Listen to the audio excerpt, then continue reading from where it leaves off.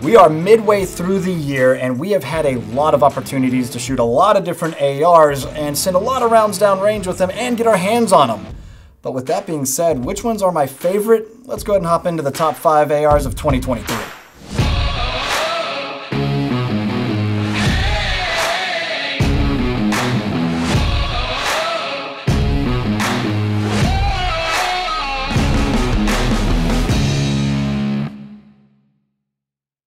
Welcome back, everybody. Clint today with Classic Firearms, here to hurt some feelings and stir the pot a little bit because we're going to be debating. Well, you guys are going to be debating down in the comment section the top five AR-15 rifles for 2023. We did see uh, quite a bit of releases earlier this year at SHOT Show, saw some releases last year, and things are finally starting to hit the shelves this year. So we're here to talk about, like I said, the top five with probably a few, perhaps three, honorable mentions. And just keep in mind, these rifles we're about to talk about are probably the best,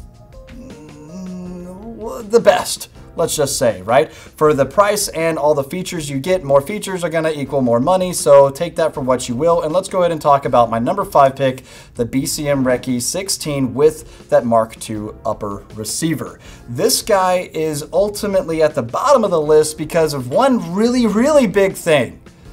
It is 2023 and it does not feature an ambidextrous bolt release. Take that for what you will, or magazine release. So that is the only reason it's not closer to the top of the list, but I will say this, there's a big but here. Number five for a reason. Other than that though, it is probably one of the most reliable, proven, and affordable rifles on this list everything that BCM has to offer has been just over time proven to be exactly what you want it to be. Accurate, reliable, trustworthy, and the list goes on. The the furniture that is utilized on this rifle, it's always been ergonomic. BCM just makes great accessories as it is. They've always collaborated with Travis Haley, who's made some awesome, cool contributions to the series. So I am really happy about the BCM Recce 16. They also make the Recce 14 if you want something just a tad bit shorter, so check that out. But ultimately, I'm really satisfied with BCM. We have actually featured a Recce 16 on the channel before for something that you would probably find over at cfcontest.com. So make sure you're going over there and checking that out. But if you would like to see BCM featured a little bit more on the channel, let us know down in the comment sections below. Now, with that being said, the Mark II upper and why I specified that upper receiver is though it's going to cost you a little bit more money, they did some things to make this a little bit more durable. They actually collaborated with Larry Vickers on this and it's a little bit more rigid. They want to make sure that there's no barrel sway or barrel drift. and they want to make sure too that over time this is going to maintain its durability and if you have well, locking lugs that aren't exactly aligned because the barrel is doing some weird shifting or something like that, that could actually, well, how do you say enhance or not enhance, but I guess expedite uh, wear, which isn't something you want.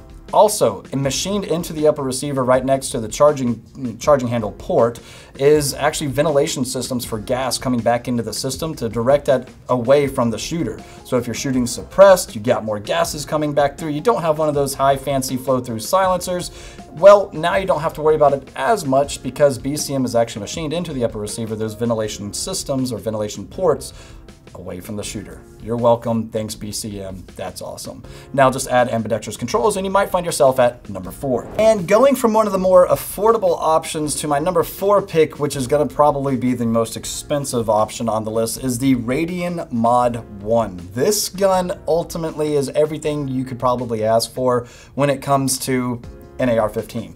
And with a price range above $3,000, it should be. Uh, the BCM that I just talked about came in in a ballpark around between 16 to $1,800 depending, so not cheap either, but a lot more affordable than the Radian I'm talking about right now, which is why it's a little bit lower on my list. But you know what it does have?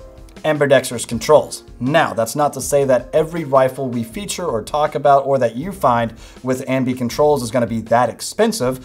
Thank you, LWRC.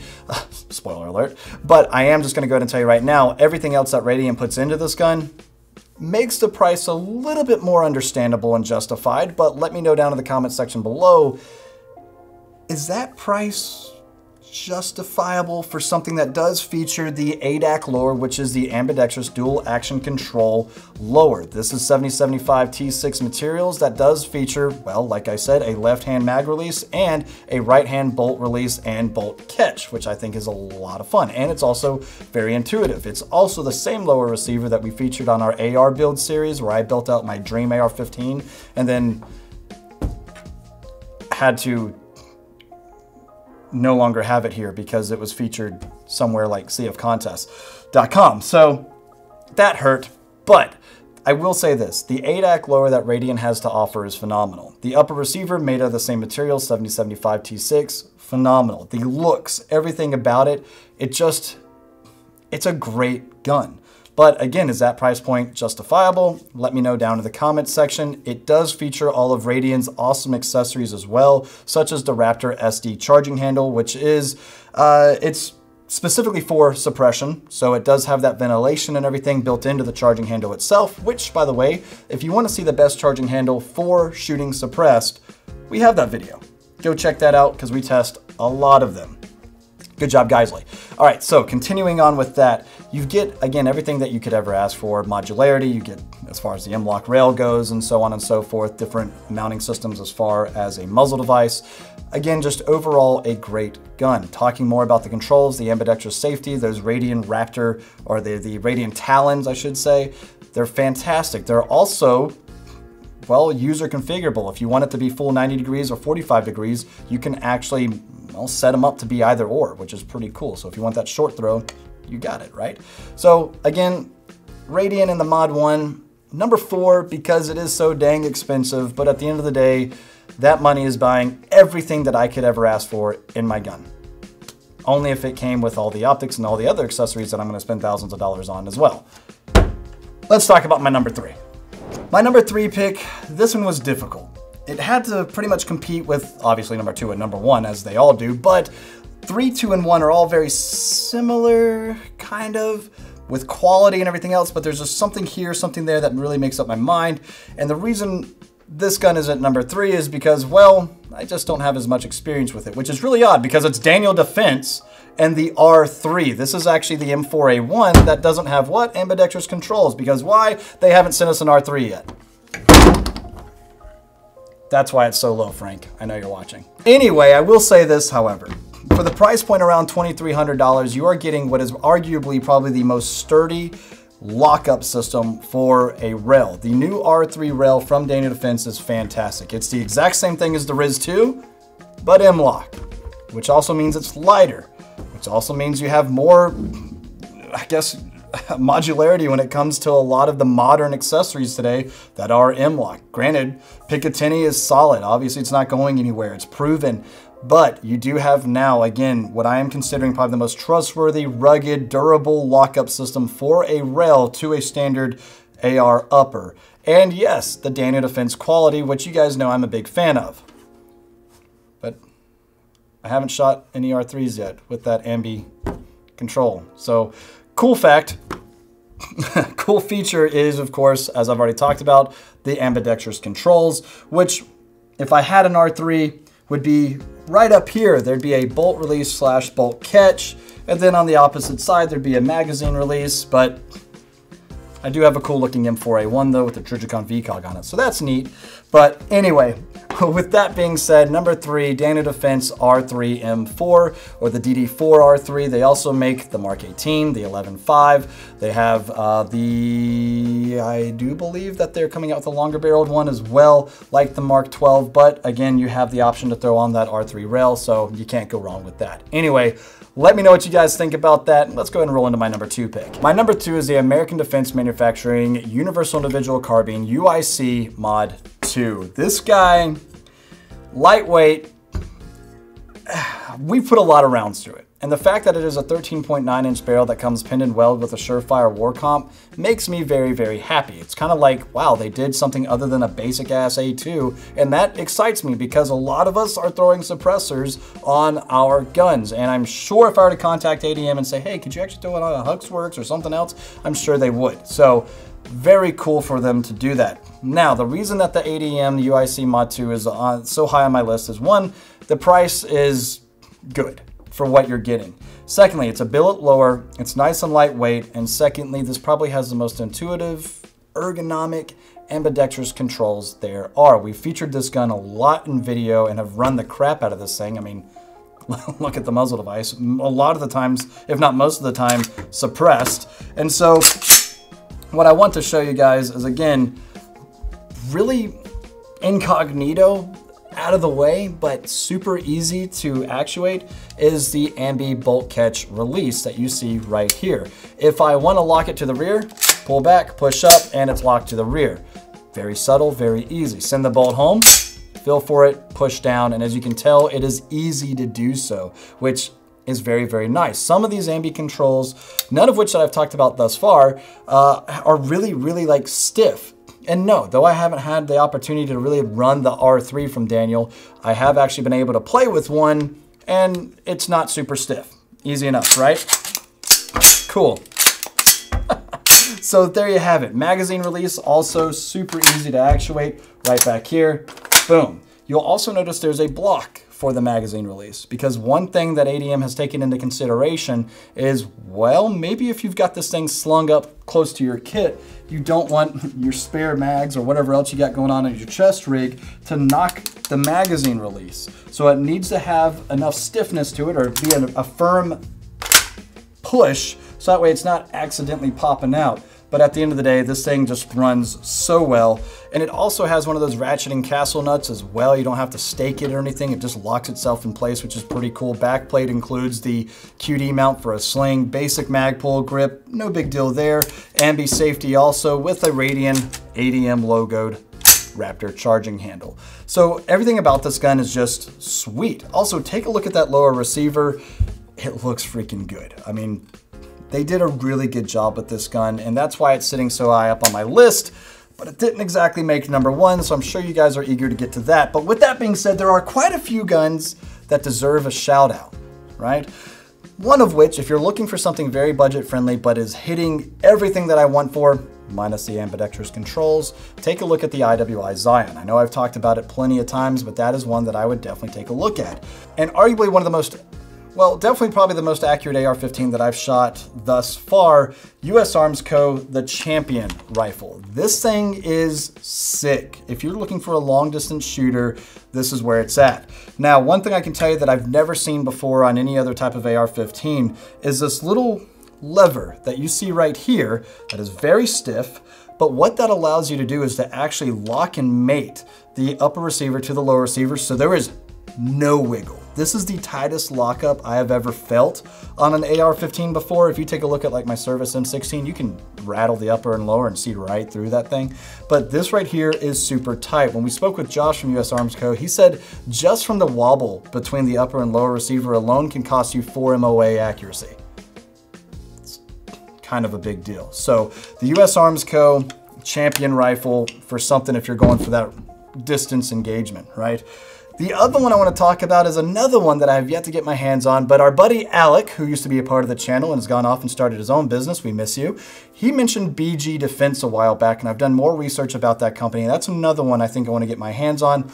Let me know down in the comments section if you'd like to see more from them. And the last one I'm going to talk about is one that's not technically available to the civilian market just yet. Yet but when we weren't kicked out of Knight's Armament booth at SHOT Show this year, they did take us behind the scenes and showed us the KS-1 rifle. Anyway, rolling into number one. No, my number one is not LMT. That's only because of an experience thing, which hopefully it changes soon, right? But I can tell you right now that what is my number one is the LWRC ICDI M6IC. There's a lot of different names, but just know it's the LWRCI direct impingement rifle. This is one that's dead, I mean, it's decked out the way it is because it's gonna be featured at cfcontest.com. Right, Ryan? No. Okay, this is Ryan's personal. He won't let that happen. But anyway, let me just go ahead and tell you the reason why that this is on the list as my number one for the second consecutive year. Um, oh, the price point and all the features that you get. This features, again, some excellent ambidextrous controls. Let's go ahead and take a look well, popping the mag out.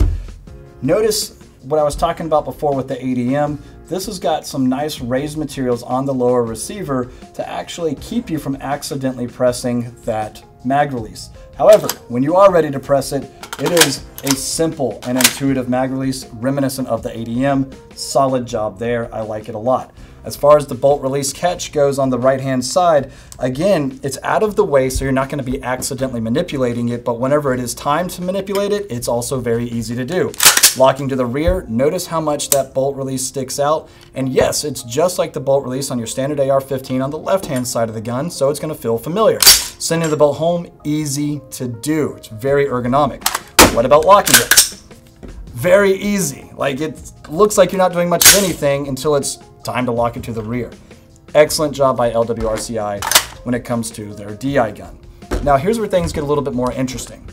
Remember how I was talking about the lockup on the Daniel Defense RIS 2 R3 rails? Well, this one has something a little bit different. It is a proprietary locking up system or lockup system, which pros and cons to that, right? Pros. This utilizes what's called a monoforge design. That means that this part, which is right here just forward of the upper receiver, well, a part of the upper receiver, is reinforced a lot. And that makes sense because this is where all those pressures are taking place. This is where that small explosion is set off to set that projectile down the muzzle or down the barrel and out the muzzle. So it makes sense that they would ultimately extend the upper receiver, beefing up this part right here, and then have a proprietary locking system for that rail to lock onto. It is M-LOK, which is nice and long enough. I wouldn't mind if it was a little bit longer, but with what we get, I'm really happy about it. So ultimately, it's very durable. Is it more durable than the RIS-2 or R3 rail from Daniel? The rail itself, no, I don't think so. However, the upper receiver being the way it's designed, yeah, that's, that's pretty tough. And there is an argument to be made in favor of LMT with their monolithic design where the upper receiver and the rail are actually all one piece of metal, but I don't have an LMT here in front of me for some freaking reason. Anyway, what else is monolithic? Actually, the bolt carrier group. If I were to strip this guy out and bring you this, it's almost like we have another one of these DIs laying around.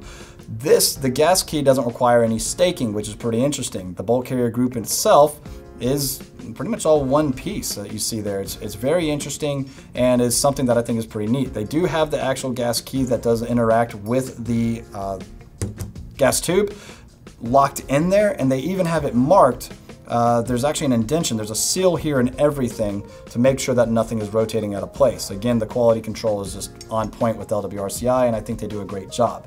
The barrel itself, you guys are gonna know it's got that cool fluting, that twisted fluting that they have on it here. That is Cold Hammer Forged by LWRCI, and I think, again, they do an excellent job with that as far as all the shooting that I have done. The pistol grip alone also is another piece of furniture that I really appreciate, just something that they've paid a little bit of attention to. Notice the trigger guard and how that lines up. That's also enlarged. It's polymer to save a little bit of weight, not that big of a deal. But overall, the combination of the two makes this a very ergonomic and comfortable grip, so something that also really excites me. So overall, the price point on this guy too is something I think you guys are gonna like as well, which again makes it really difficult to beat, which is why it's my number one, because it has everything I want, mostly. So what do you guys think? Do you think I'm completely out of my mind, off the rails when it comes to this list for 2023? Is there something someone, perhaps, some manufacturer that I have completely overlooked. Let me know down in the comments section and well, tag them, right? I mean, if you find this all over social media and whatnot, tag them, let them know, wow, Clint obviously needs to expand his horizons a little bit and discover you guys. Who is you guys? Let me know down in the comments there. And do you agree with the list? Disagreed? Should it be in a different order? Should I add? Should I take away? Favorites, least favorites, let me know and we'll leave it off there. I'm gonna go to mention cfcontest.com one more time because this gun will never be there. But you might find something that's really, really similar to it or something else very soon. So, you know, cfcontest.com. And with that being said, I am out of all these different ARs that we have right now. I'm out of options. I'm, I'm done. I'm done. I'm out of numbers. Guys, as always, we appreciate you and your business. God bless. We'll see you next time at Classic Firearms.